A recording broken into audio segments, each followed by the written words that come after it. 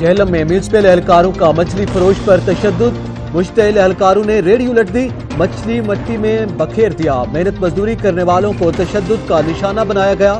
Police کا کارروائی سے گریز۔ اعلی حکام نوٹس لیں زخمی شخص کی اپیل۔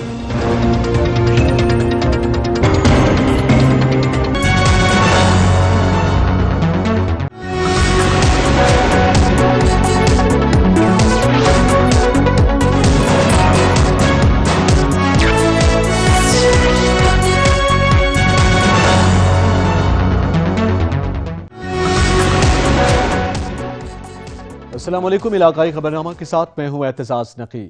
ہیڈ لائنز آپ نے جانی بلیٹن کا باقاعدہ آغاز کرتے ہوئے آپ کو بتائیں، جہلم میونسپل کارپوریشن کا عملہ بے لگام ہو گیا۔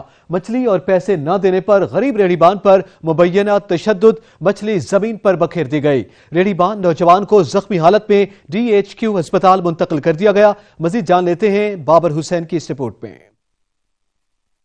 جیلم کے میونسپل کارپوریشن کا عملہ بے لگام مچھلی اور پیسے نہ دینے پر غریب ریڑی بان پر مبینہ تشدد مچھلی زمین پر بکھیر دی ریڑی بان نوجوان کو زخمی حالت میں ڈی ایچ کیو ہسپتال منتقل کر دیے گئے۔ جیلم کی میونسپل کارپوریشن کے عملہ کی بدماشیاں عروج پر پہنچ گئیں۔ آئے روز محنت مزدوری کرنے والے ریڑی بانوں کو تنگ کرنا وطیرہ بنا لیا۔ جاتا کے مقام پر ریڑی پر مچھلی لگا کر فروخت کرنے والے ریڑی بان سے مچھلی اور پیسے طلب کیے۔ نہ دینے پر غریب مچھلی فروش پر میونسپل کارپوریشن کے عملے نے دعویٰ بول دیا۔ نوجوان کو مبینہ تشدد کا نشانہ بنا ڈالا اور ریڑی پر موجود مچھلی کو زمین پر بکھیر دیا۔ جس کی فوٹیج بھی منظر عام پر آ گئی ہے، جس میں واضح طور پر دیکھا جا سکتا ہے کہ میونسپل کارپوریشن کا عملہ ریڑی سے مچھلی اٹھا کر پھینک رہا ہے۔ شہریوں نے مداخلت کر کر نوجوان کی جان بخش کروائی۔ متاثرہ نوجوان کو ڈی ایچ کی ہاسپٹل منتقل کر دیا گیا ہے۔ مبینہ تشدد کے باعث نوجوان چلنے سے قاصر نوجوان کا کہنا ہے کہ میونسپل کارپوریشن کا عملہ ہر روز پیسے اور مچھلی لینے آ جاتا ہے۔ نہ دینے پر اس نے مجھ پر تشدد کیا اور میری ساری مچھلی بھی لے گئے۔ اس مرتبہ آگے تیس ہزار روپے مانگے۔ کس چیز کے دیں؟ چھوٹے چھوٹے بچے ہیں پردیسی ہیں۔ کہاں سے دیں؟